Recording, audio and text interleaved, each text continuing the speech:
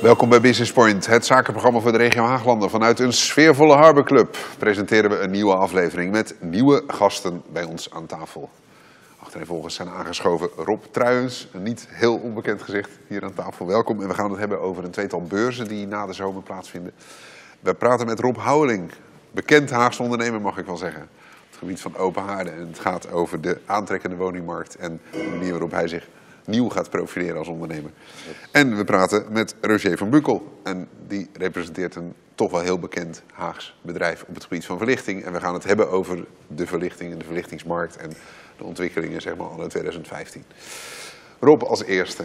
Een tweetal beurzen. We hebben het over uh, de oudere beurs, de 55-plus beurs en een businessbeurs. Nou, allereerst die 55-plus beurses. 10 september, ja. Grote Kerk. Uh, waarom Grote Kerk? Omdat we daar natuurlijk al ervaring hebben, omdat we al meerdere beurzen organiseren, zoals de VVE-beurs van Haagland onder andere. Ja. Heel veel mensen vragen ook, waarom kom je op een kerk terecht? Ja, we hebben toch mooie congrescentra's hier en daar.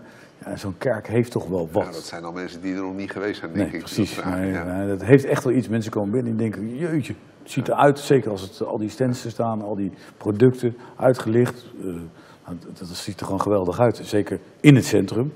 Seniorenbeurs, hè, om het maar even zo te zeggen. Ja, kun je rondom goed parkeren, uh, openbaar vervoer bereikbaar.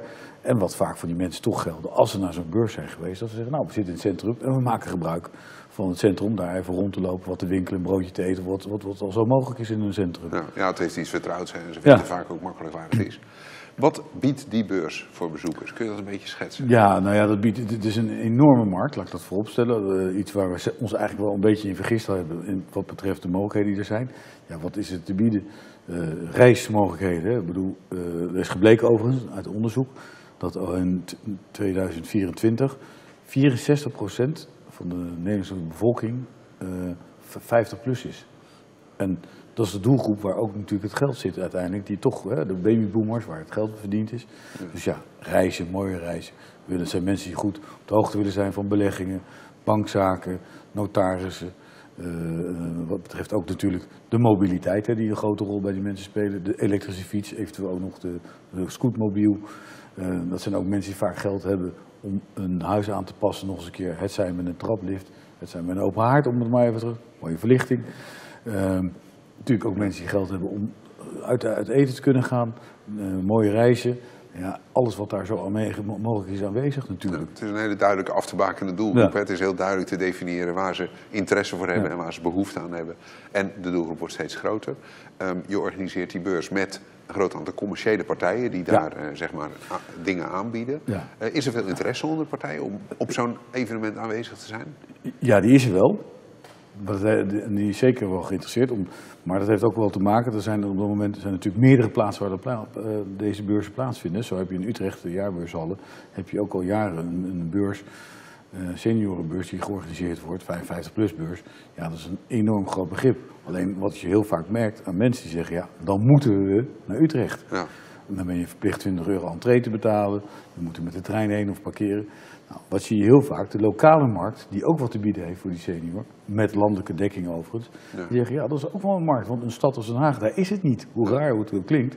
En daar wonen natuurlijk best wel veel senioren in wijken die ook nog wel uh, wat te besteden hebben. Um, je, je, praat dan met zeg maar, lokale partijen die zich op die beurs presenteren. Kun je schetsen wat de mogelijkheden zijn om je te presenteren? Want je moet daar natuurlijk in direct contact met die doelgroep nou, kunnen komen. Wat, wat onze ervaring is, in, in, principe vanuit die VVE-beurzen die we natuurlijk al organiseren, is dat je vaak ziet dat een, een, een ondernemer wil ontzorgd zijn op zo'n beurs. Dus die wil eigenlijk aankomen, eigenlijk nog maar eens een rollenbanner neerzetten bij wijze van spreken en that's it. Dus wat wij doen, wij, wij bieden een, een, ruimte van uh, zes vierkante meter bij elkaar. Dan krijgen ze in principe, dat is heel simpel, ze kunnen ook meer krijgen natuurlijk als ze het willen, maar dat hangt natuurlijk van de prijs die ze willen betalen. Maar wat wij doen is dat ze krijgen, er staan twee stoelen, een barkruk om zo'n tafel, stroom, wifi. En wij zorgen ook voor de deelnemer dat er een lunch is, dat er een, een, een eind van de avond een bol is met een diner. We zorgen dat natuurlijk door marketing en door een gesprek zoals hier bij wijze spreken, dat er bezoekers komen. Uh, we zorgen ook dat er een Maker Magazine bij een klein boekje zit in In dat pakket zit ook een kwart advertentie. Als ze groter weer kan het ook. Oké, dus dat hoort allemaal bij elkaar. Allemaal bij elkaar. Website wordt gemaakt. Op die website komt het logo te staan. Ze staan op de site, ze staan in het boekje. Ja. Eh, ze- eh, zeg maar de lunch en een diner is geregeld. En ze hebben een basisstand, zeg maar, Ja. met wifi en een aantal elementaire voorzieningen. Ja. Nou, nou, klinkt heel interessant. We hebben nog een beurs. Ja. Drie weken later, 1 oktober, ja, dat is de businessbeurs. Dat Ja. doen we inmiddels voor de derde keer. Een begrip. bij ADO. Bij ADO in dit geval, omdat dat is wel jammer dat in de locatie in de regio Haaglanden weinig mooie congresregio's zijn of locaties waar je kan, eh, eh, beurzen kan organiseren en dergelijke. En ADO biedt één voordeel, heeft natuurlijk een eh groot parkeerterrein waar veel mensen kunnen staan. We, hebben, we kunnen een deel van het parkeerterrein gebruiken om autobedrijven producten te laten zien. We hebben bijvoorbeeld vorig jaar een, een kartorganisatie heeft daar rondjes gereden. Waardoor mensen, die konden mensen rijden in die karts, elektrische karts. En die vonden het helemaal geweldig. Dus die gingen naar binnen en die zeiden, hé, hey, wij willen volgend jaar ook bij jullie eh, met bedrijven een arrangement. We hebben een horecaplein. Vorig jaar voor het eerst ook neergezet. Vanaf eh, drie uur werd het wat drukker, maar toen werd het ook goed druk daar. Dat is ook logisch natuurlijk. Mensen een dronken wijntje konden wat proeven. We willen eigenlijk proberen dit jaar ook bijvoorbeeld een vastgoedplein neer te zetten. Ja. Hè, voor lokale vastgoed. Maar ook bijvoorbeeld voor de ICT-markt. Ook voor de de ontwerpers onder ons. Nou, er zijn tal van mogelijkheden. Ja, het klinkt als een eh, mogelijkheid om heel veel ook eh, te demonstreren, zeg Klopt, maar. Hè? Niet alleen contacten te leggen, maar ook dingen te laten zien. Want je zegt net al heel snel even, buiten parkeerterrein allerlei automobielbedrijven die zich presenteren. Ja. Dat is ook de toekomst, om steeds meer losse pleinen Ja. te realiseren. Ja, en dat mensen dus echt kunnen kijken. Nou, ik ga eens in die auto een rondje Demonstraties. Demonstraties. Ook hiervoor ben je aan praten met partijen die daar willen staan. Ja. Eh, en daar kan ik me voorstellen dat ook met name de creatieve invulling van ik wil daar staan, maar wat ga ik dan doen en hoe kan ik het dan leuk brengen, dat dat een belangrijk punt Nou is. ja, dat is nou zo leuk dat je dit aansnijdt. Vaak zie je op beurzen dat mensen eh, er staan en die, die, gaan, die zetten een laptop neer en die, doen, die gaan liefst achter het klepje zitten als iemand aankomt lopen. En dan zeggen ze, ja, eind van de beurs, er is niemand geweest. Nou ja, dat daagt niet uit. Dus ik zeg ook vaak tegen partijen, maak reuring, doe wat, laat zien. Hè? Net zoals ik zei van, eh, van de Uithof met die skelters. We hadden vorig jaar een benzinebedrijf staan. Dacht, een benzinebedrijf, wat moeten die hier? Nou, die mensen hadden er een heel feest van gemaakt. Wat bleek nou? Zij wilden graag mensen kwamen tanken, dan konden die mensen weer een bepaalde korting krijgen. Maar die trokken wel mensen. Een schadebedrijf, die stond daar zijn auto's eh een keer een stukje te spuiten, dat mensen het zagen. Laat vooral zien wat je doet. Eh, een mooi voorbeeld is een meneer die ik kende, die heeft allerlei stoelen ontwerpt. Die voor, voor een bepaalde manier van zitten, voor zijn rug. En die trok iedereen, eh, heb jij last van je rug? Ja, ik zie het. Hoe weet u dat? Ja, mijn fysiotherapeut. Moet je deze stoel eens proberen. Ja. Dat soort dingen, dat is juist wat je moet hebben. Allemaal hartstikke leuk, maar ik kan me voorstellen dat een kritische ondernemer die misschien op zo'n beurs zou willen staan, denkt, ja, dat zal allemaal ook wel een hoop geld kosten. Ja, dat, dat, dat is maar net hoe je het wil zien natuurlijk. Hè. Wat ik al net aangaf. Je kan zo'n heel pakket met allerlei mogelijke advertentieboekje, website. Een pakket, daar zit, daar zit een stukje publiciteit in, begrijp Ja. ik. Advertentie, je staat op de website, in het boekje sta je. Ehm, je zei er net op die eh 55-plus-beurs is ook eh, voor de standhouders een stukje catering. Eh, ze krijgen een lunch en, en diner. Dat is in dit geval ook allemaal. Dat is allemaal in dit geval ook. Faciliteiten, wifi. Wifi, stroom in principe. En natuurlijk wat we ook weer doen. Dat er workshops kunnen worden gegeven door gerenommeerde advocatenkantoren. Ja. zij door accountants, wat ook gaat plaatsvinden. Hè, 1 oktober, twee weken naar eh Prinsjesdag. Ja. Dat is interessant. En wat kost dat pakket? 1345 euro. Oké, en daar zit dat allemaal, Allemaal in. in. Allemaal En eigenlijk is jouw oproep, verzin iets leuks, doe iets leuks, kom met iets creatiefs. Juist. Heel Ja. erg duidelijk. Bedankt. Succes met de beurs. En Rob, van de ene Rob naar de andere Rob. Ja. Welkom. Heel in het verleden wel eens eerder bij ons aan tafel geweest. Ja.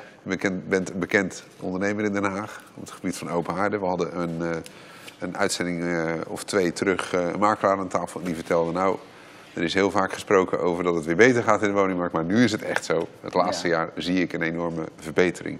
Dat klopt ook. Jullie hebben allebei eigenlijk een hele directe relatie met die woningmarkt. hè. Als er meer huizen verkocht worden, wordt er meer verhuisd, wordt, er meer verbouwd, wordt er meer verlichting gekocht, wordt er meer open haarden geplaatst. Ja. Merk je dat ook? Ja, enorm. Enorm. enorm. Want er is natuurlijk heel vaak geroepen dat het beter ging.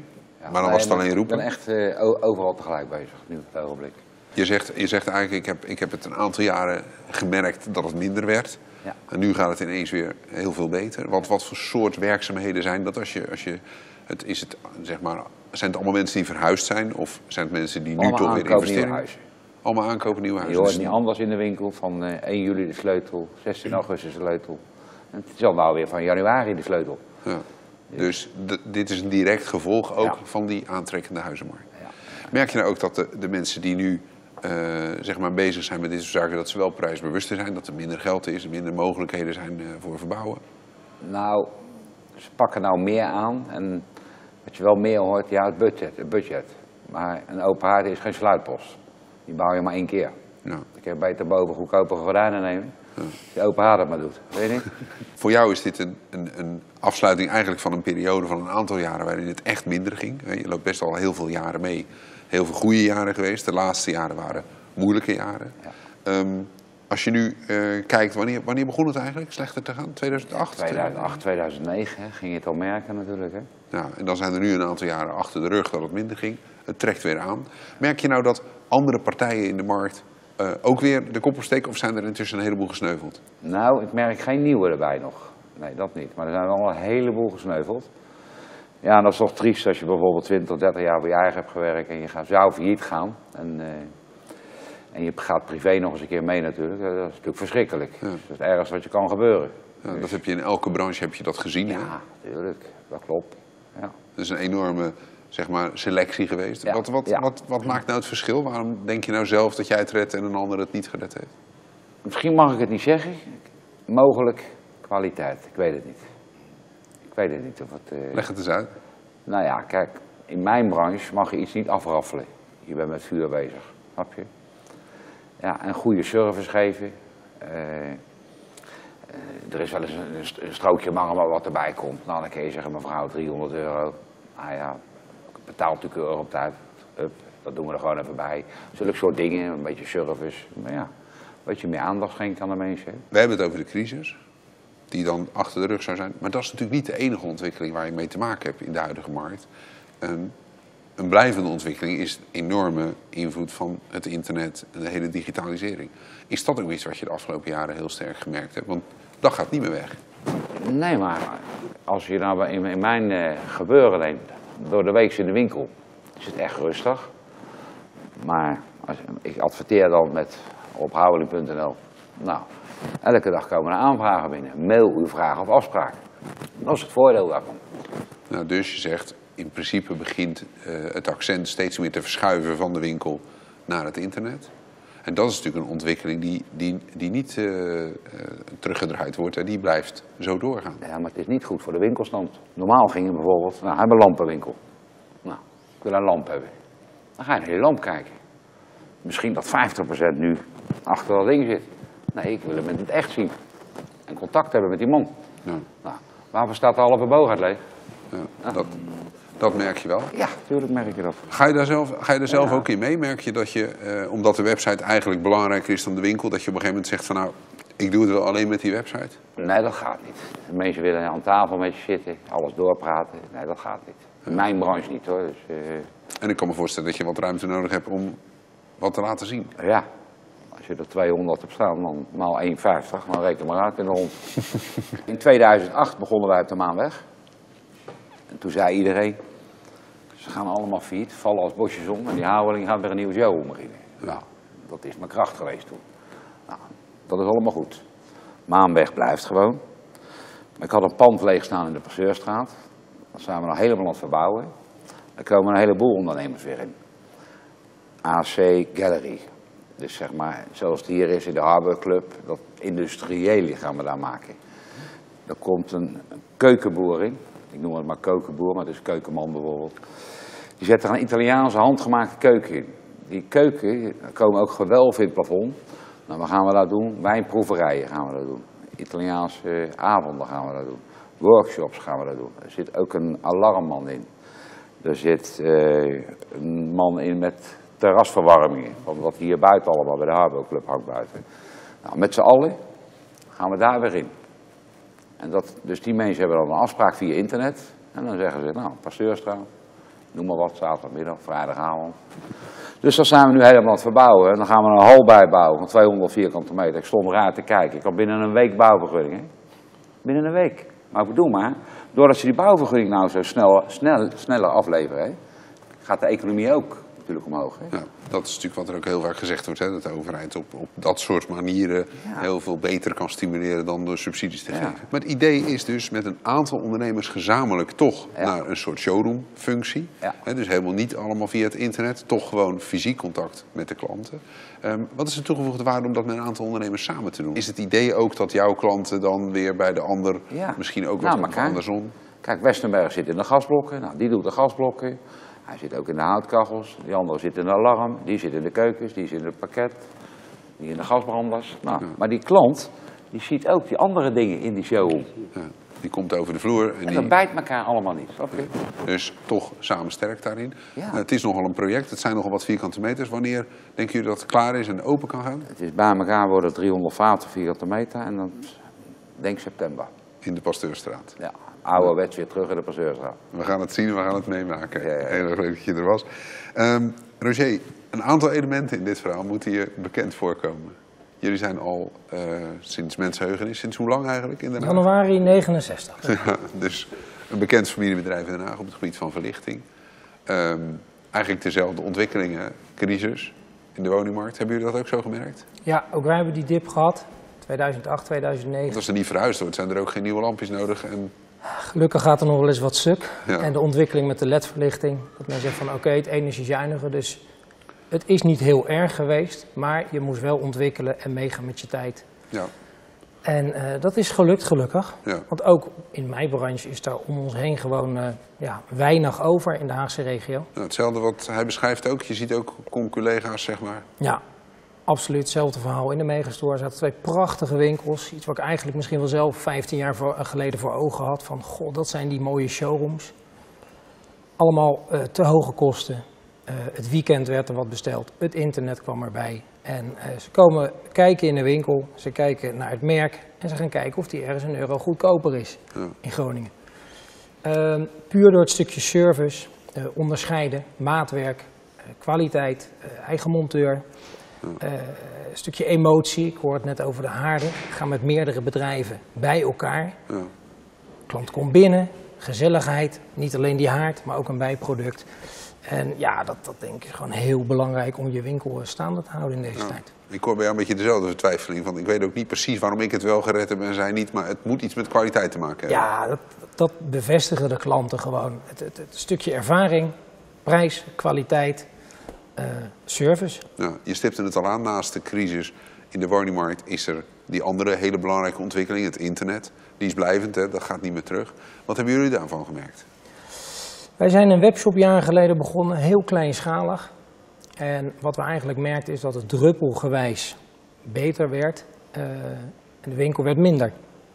Klanten die in de winkel uitleg gaf, soms een lichtplan zelfs aan huis, offertes, gingen online googelen van hé, hey, waar is die het voordeligst of het snelst leverbaar.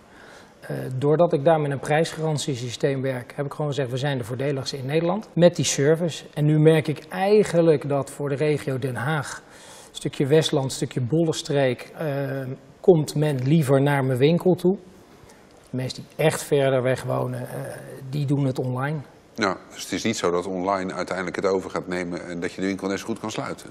De exclusieve producten, de kwaliteitsproducten, eh, dingen die op maat gemaakt worden.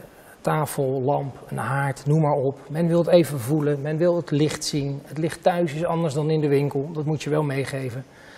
Ja, die winkel die blijft bestaan. Nou, er wordt ook heel vaak gezegd dat je het online beter doet als je winkel hebt. Niet dat ze naartoe willen komen, maar het schept meer vertrouwen. Merk je dat ook? Ja, dat is wel echt een feit. Plus dat een hoop leveranciers alleen maar leveren als je daadwerkelijk een winkel hebt. Ja. En niet vanuit een loods, Ja. weinig kosten, gaat concurreren. Ik kan me wel voorstellen dat het spel uiteindelijk door dat internet verandert. Omdat je bijvoorbeeld veel meer klanten van buiten de regio krijgt. Merk je dat ook? Dat je niet meer zozeer een regionale speler als meer ook een kleine landelijke speler bent? Ja, absoluut. Uit alle hoeken van het land. Zelfs een hotel in Praag die ineens bij me bestelt. Omdat het een vrij exclusief merk is en ik kan snel leveren. Er moest nog wat maatwerk aan te pas komen. Dat ze met recht ook buiten Nederland eh, bestellen. En hoe, hoe zie je nou de toekomst? Want je zet nu eigenlijk in op de koers van nou, ik hou de winkel. Ik pak eigenlijk het internet zelf. Ik doe zelf mee in die internetontwikkeling. En ik probeer een beetje op twee sporen te werken. Hoe, hoe zie je nou de toekomst? Wordt er toch één van die twee sporen belangrijker? Of... Nee, ik vind de winkel heel leuk. De sfeer, het omgaan met de mensen. Wij kunnen het makkelijk alleen met de winkel eh, af, zeg maar.